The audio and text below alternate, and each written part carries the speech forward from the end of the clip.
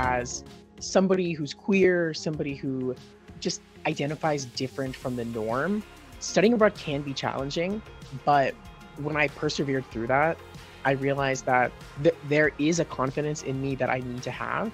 When I realized that, you know what, I am taking up space here and I am loving it and I deserve this space. And if I deserve this space in Italy, I deserve this space at home.